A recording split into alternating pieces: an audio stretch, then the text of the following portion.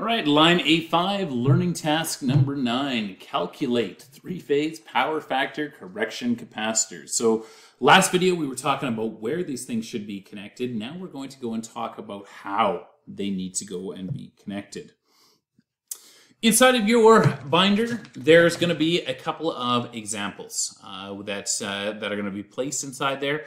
We're going to go through the first example. Actually, I think there's only one example inside of here. We're going to go through. Now, I'm going to go through in a different order of calculations. I'm going to get all the same stuff as what they had, but I prefer to go through in just a different order because it makes more sense for me. By all means, follow what the book does. If you prefer their order of operations, great doesn't hurt me.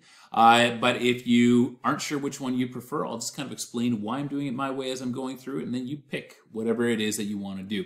Uh, it is entirely up to you which one you plan to use, and neither of these is correct. It's just going to be different than what you saw inside of the book, so be forewarned. All right. The book tells us about a motor load. Let's go and draw that thing up there. We've got a motor load that is going to go and be, actually I'll move it over to the side so I got lots of room for calculations. I've got a motor load that is 60 kilowatts of useful work that it's putting out.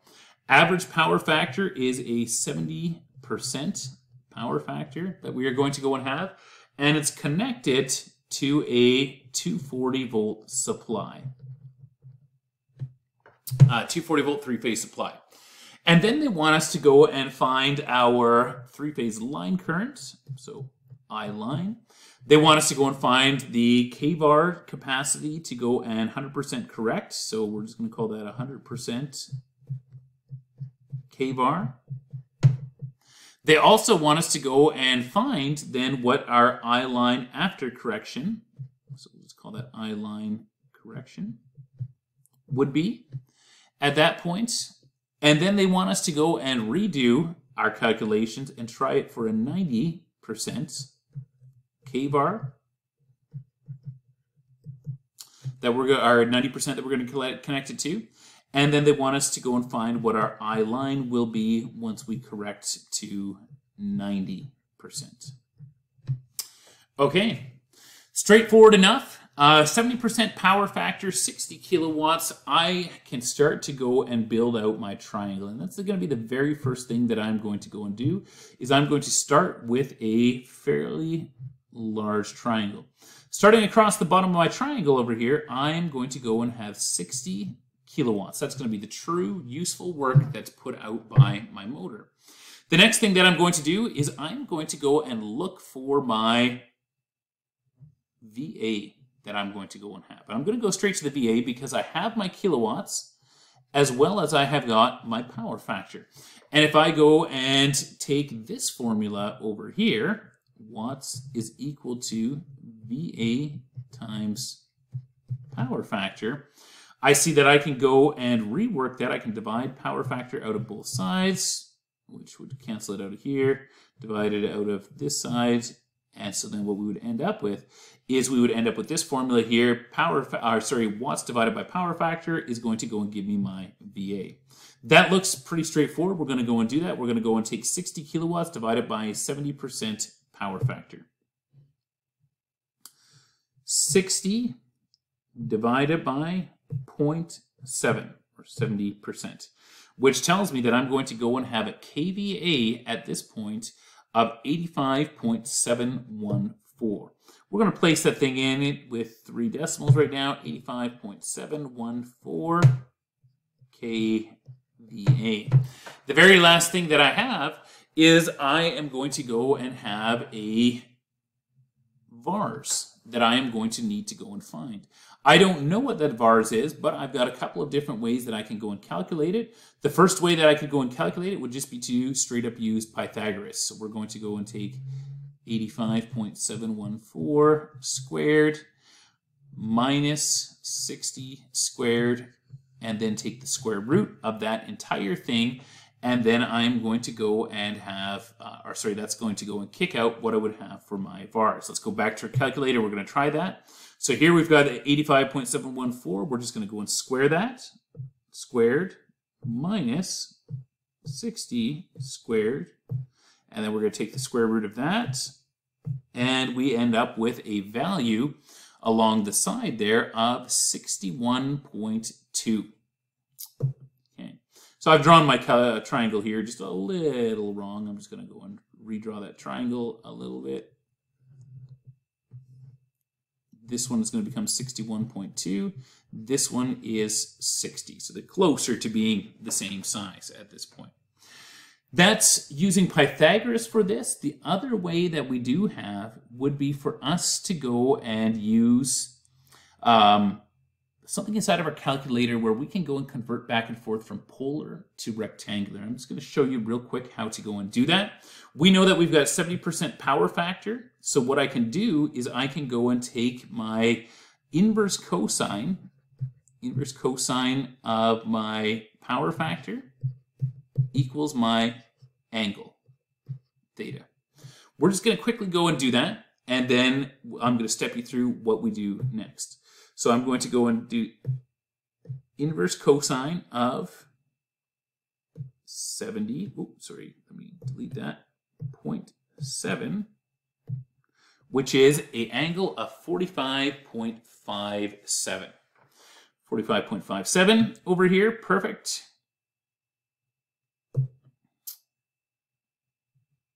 Put that in there, 45.57 over there. 45.57, if I would have my 45.57, I can then go and take that value and I can go and punch it in as if it were a polar. I can take this 85.14 at an angle of 45.17, and then that's going to go and break down into both an x component as well as it's going to break down into a y component. I'm going to show you how to do it real quick. We don't need to do it so much for this one, but it's handy for some of our other stuff. First of all, I'm going to go into my mode, cam all the way over till I'm in complex mode, and then I'm going to go into this, which is going to be my polar format. And now I can go and take these values, 85.714 at 45.57. So 85. 714 angle 45.57 and then I'm just going to hit equals and tells me that. And then what I'm going to do is I'm going to go second convert to XY and the first number that it's going to go and show me is going to be my X value 60 great we already knew that 60 kilowatts. My second value is going to go and be my Y value which is 61.2 Okay, that was just a little aside. We don't need to go and do that for this one because in this case it's a little bit more work. Where this trick comes in really handy is anytime that I'm given a kVA and a power factor, I could just take the kVA and my power factor, convert the power factor into an angle, and then it'll instantly spit out my x and y as being these two values over here. But we're not going to do that right now. Okay, let's erase this x and this y. What we have at this point is we have got our total kVA for the system. What we need to do now is we need to go and figure out the number of amps that we have on the system. Now it's a 240 volt system and it's a three phase system that we have. So what I'm going to do is I am going to go and use my kVA formula. Uh, VA is equal to E line times I line times root 3. And if I want to isolate for I line, I need to divide both sides by E line times root 3 over here. And if I do that, VA divided by E line times root 3, I'm going to go and cancel these two out here and this one over here we've got this formula over here. Let's go and punch in values for this. We're going to go and have, we've got 85.14. We have got 240 volts for my line voltage. So we're going to punch that through on our calculator. 85.714 divided by, and we're going to go and take our value of voltage, 240, and we're going to take root 3 for that one. So divided by 240 times second root 3, like that, and equals a value of 0.206.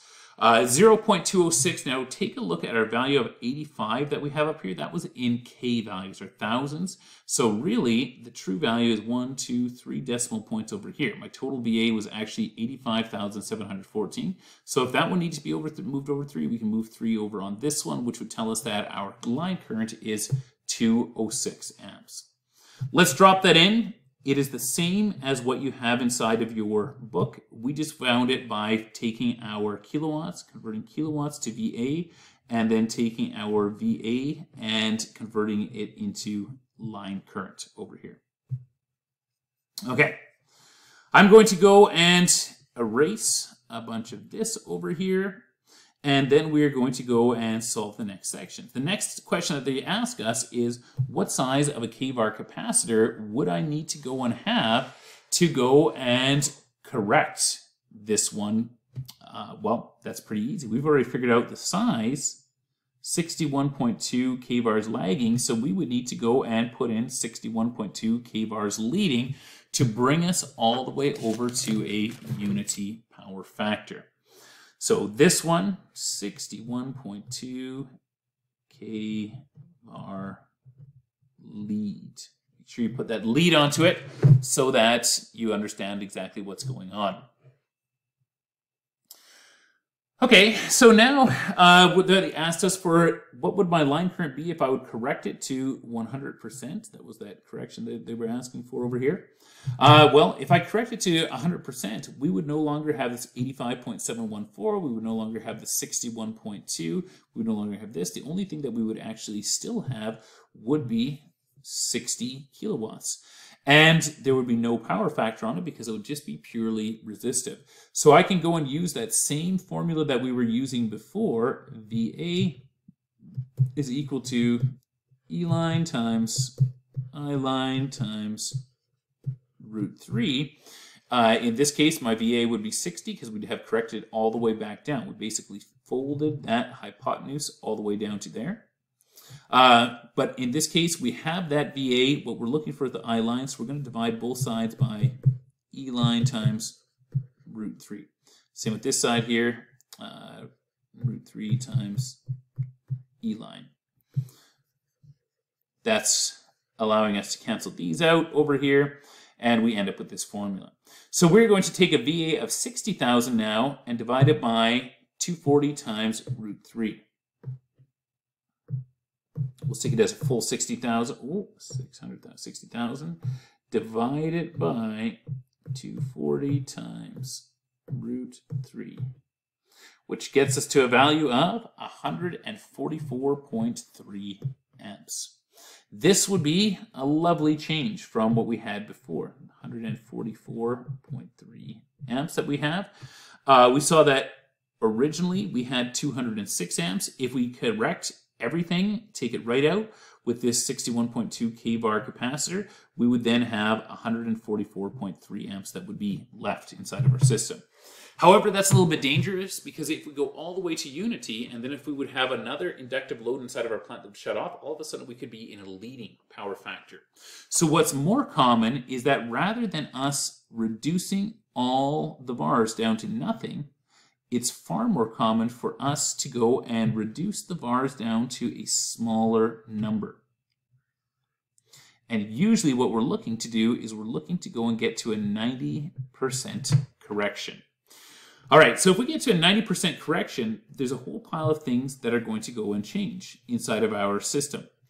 Uh, we are going to go and change our total amount of kVA. It's going to change. It's going to go and lose that amount of kVA. We are going to go and change our total amount of kVARs. We're going to drop a bunch of them out of there. And we are going to go and change our phase angle that we have on this thing as well. So let's go and work with the only things that we know stay the same, and that's going to be watts. Watts never lie. I always say this, I believe it. Watts don't screw me up. They shouldn't screw you up as well. So we're going to stick with that 60 kilowatts, and we are going to go and start working backwards off of that. Well, I know what my target power factor is of 90%. So if I have got my 60 kilowatts and my target power factor, I should be able to go and figure out a target VA. That's a relatively simple calculation. if I take my watts divided by my power factor, that is going to go and equal my VA. So we're going to go and take 60, we're going to go and have 0.9, and that's going to give me my new target value of VA. Okay, so 60 divided by 0.9 equals 66.666666, and it just kind of keeps on going from that point forward. So we end up with a new target VA of 66.666 kVA over here. It just repeats on into infinity. Now that we have that value, we can go and once again use Pythagoras.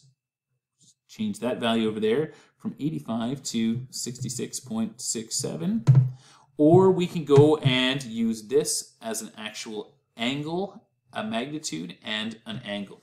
We're going to go and use this thing as a magnitude and angle just because I like it in the calculator because then it spits out what I need for my target uh, vars. So we're going to go and take this value, 66.6667, at an angle of, oh, sorry,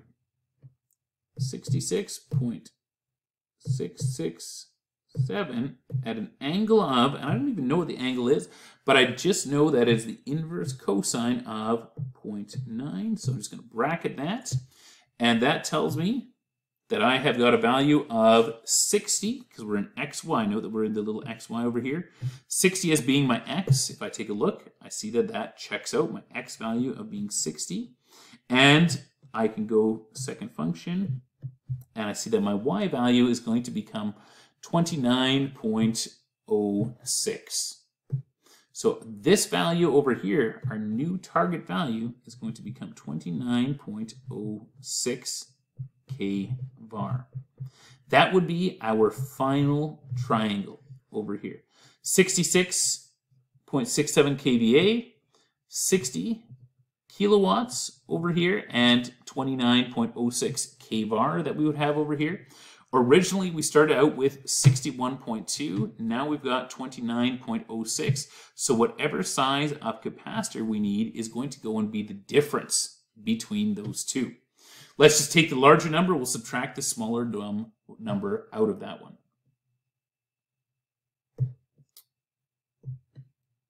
Sixty-one point two. That's my original kvar minus twenty-nine point oh six.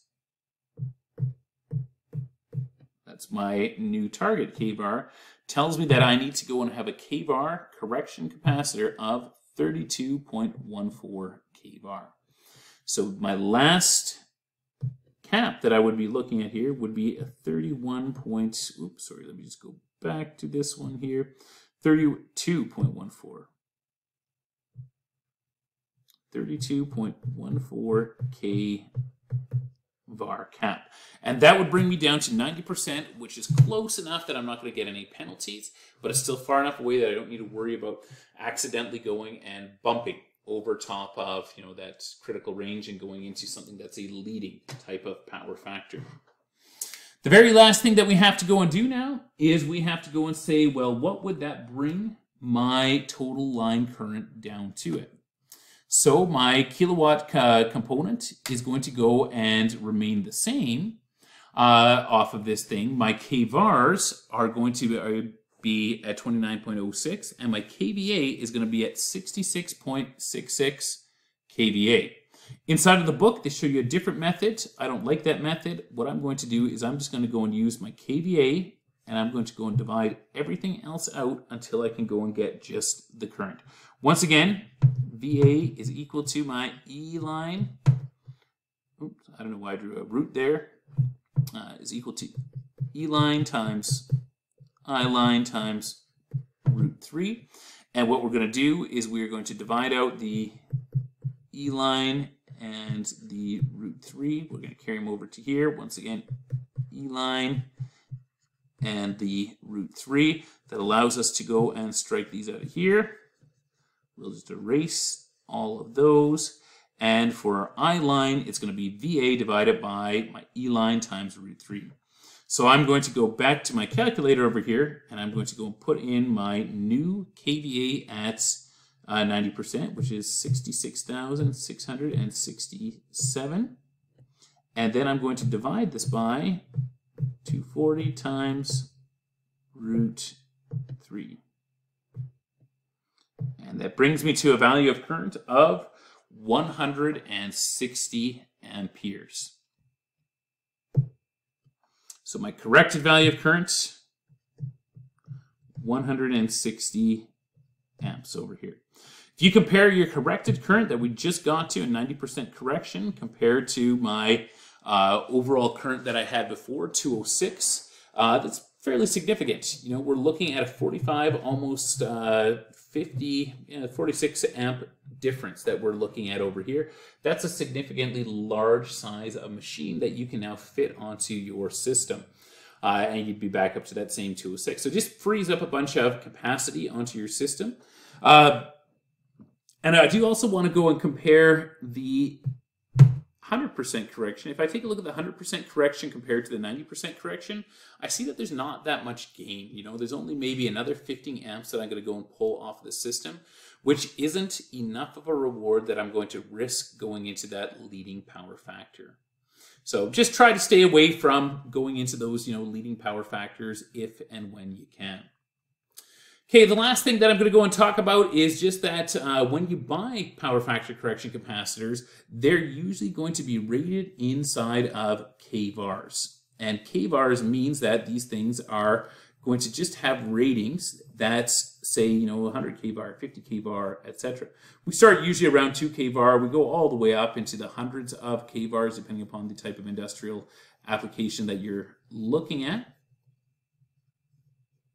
But if I'm given a capacitor, we'll just go and draw out over here a cap that we have. Uh, if I'm given one that is rated, it's going to come in as being a 10 kVAR, and then it's going to go and have a voltage rating, you know, for 80 volts at 60 hertz that we are going to go and have with this one. Um, and then it's up to me to go and figure out what I would need for current. I need to know what the current draw is because I still need to go and size breakers, I need to go and size conductors, all of those different things. Well, if I take a look at a power factor correction capacitor, my power factor correction capacitor has got a triangle that looks like this. Kind of looks like a vertical line. That's right, it is a vertical line because the watts is so small that it's basically negligible and the kVA is basically slammed right up against it. In fact, it's so small that we just straight up say we don't have any uh, actual true watts and that my kVARs is just going to be the total rating of it. The kVA difference between kVA and kVAR is so small it's completely negligible in these. So what we can do is we can then go and take that kVAR and we can use our regular VA formula. VA is equal to, once again, uh, I line times E line times root 3 that I'm going to go and have across here. And at this point, if I want to go and say that my VARs are equal to my VA, I'm able to do that because we're looking at a power factor correction capacitor. And now all I'd be doing is dividing out the E line times root 3. Divide out the E line times root 3. Over here, these would cancel out on this side, leaving me with VARs divided by my root 3 times my E line, or my voltage to my capacitor. We can go and do that. Let's go and take 10,000 divided by my voltage for this thing was going to go and be 480 E line times root 3 equals 12.028. In other words, we are going to go and have 12 amp leads that we are going to go and need to have off of here. 12 amps that we would feed off of here. You're going to go and use that amperage to figure out conductors, overcurrents, disconnect switch ratings, and anything like that. All right, that's it for sizing these.